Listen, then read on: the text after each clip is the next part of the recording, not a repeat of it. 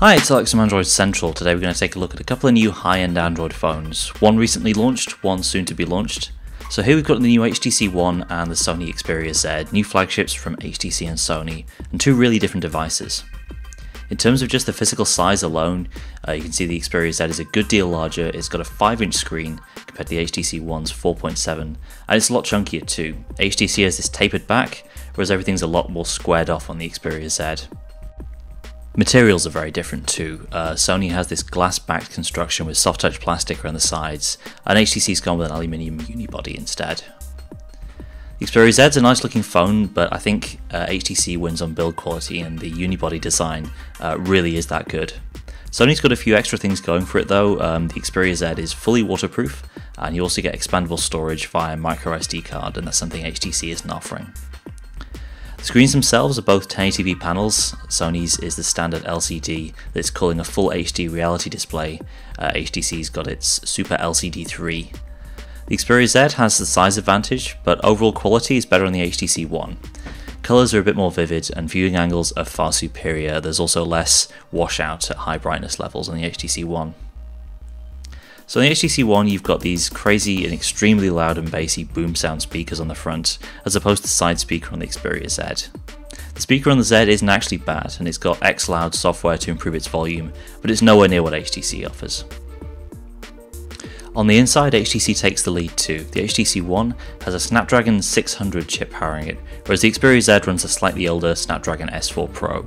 And going from one to the other, you'll see a slight performance edge that gives the HTC One. When it comes to connectivity, it's kind of a wash. Both phones support 42 megabit HSPA as well as 4G LTE. On the Wi-Fi side, the HTC One supports the new 802.11 AC Wi-Fi standard, uh, which is a bonus if you want to connect to super fast Wi-Fi networks. On the software side, both running Android 4.1.2 Jelly Bean, Sony has more of a traditional Android UI with on-screen buttons, a dedicated multitasking key, and easy access to Google Now through the swipe up shortcut.